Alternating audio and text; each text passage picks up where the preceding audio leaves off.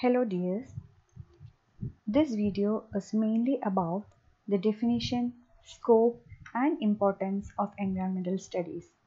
Then we will see the need for public awareness and then the institutions and people involved in environment. First, the definition. The word environment is derived from the French word environ meaning surroundings.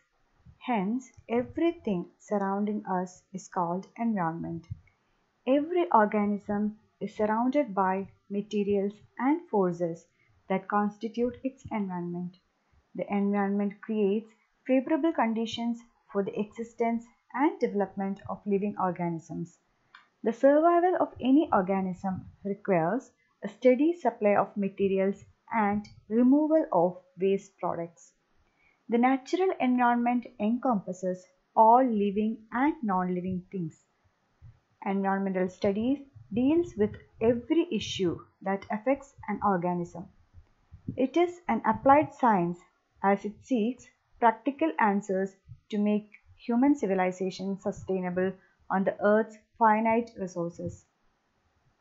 The environment is constituted by the interacting systems of physical biological and cultural elements interrelated in various ways, individually as well as collectively. Physical elements determine the variable character of the human habitat, its opportunities as well as limitations. Examples include space, landforms, water bodies, etc.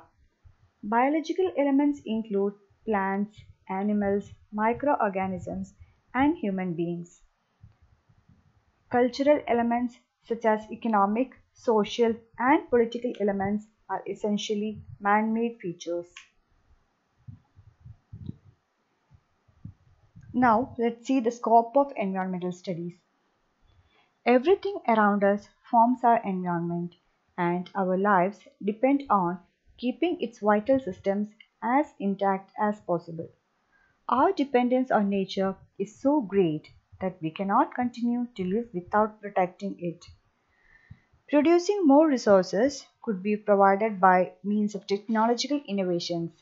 The ill effects of this type of development led to environmental degradation. The industrial development and intensive agriculture uses up large amounts of natural resources such as water, minerals, petroleum products, wood, etc. Non-renewable resources such as minerals and oil are those which will be exhausted in the future. Renewable resources such as timber and water can be used and regenerated by natural processes such as regrowth or rainfall. If we use the resources intelligently, it can sustain us over the longer term. This is called sustainable utilization or development.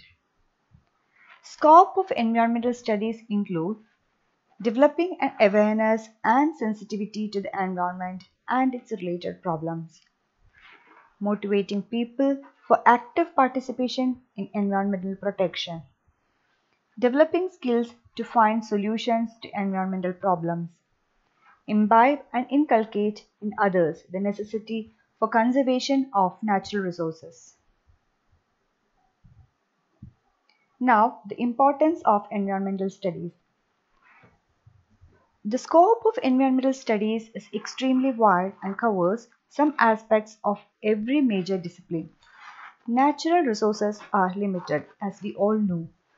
Water, air, soil, minerals, the products we get from forests, grasslands, oceans and from agriculture and livestock are all a part of our life support systems. Without them, life itself would be impossible. As we keep increasing in numbers and the quantity of resources each of us uses also increases, the Earth's resource base must inevitably shrink. The Earth cannot be expected to sustain this expanding level of utilization of resources. Added to this is the misuse of resources. Pollution leads to a variety of diseases and other adverse environmental impacts.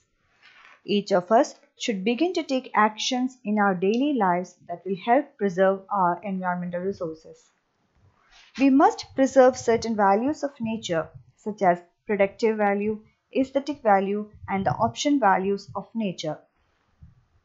Now, what is the need for public awareness? Increasing population, urbanization and poverty have exerted pressure on the natural resources and led to degradation of the environment. To prevent the environment from further degradation, the Supreme Court has ordered and initiated environmental protection awareness through government and non-government agencies. Environmental pollution cannot be prevented by laws alone. Public participation is equally important with regards to environmental protection. Environmental education is a process of learning by giving an overall perspective of knowledge and awareness of the environment. I will list out some of the threats to our ecosystem. The list goes like this. Climate change, loss of biodiversity, declining fisheries, ozone layer depletion, illegal trade of endangered species, destruction of habitats, land degradation, depleting groundwater supplies, introduction of alien species, environmental pollution, solid waste disposal, stormwater and sewage disposal. Both formal and informal education on the environment will give the interested individual the knowledge, values, skills and tools needed to face the environmental challenges on a local and global level.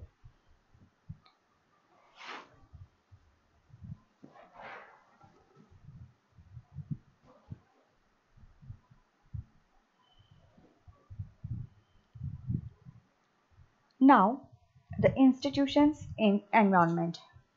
There have been several government and non-government organizations that have led to environmental protection in our country. They have led to a growing interest in environmental protection and conservation of nature and natural resources.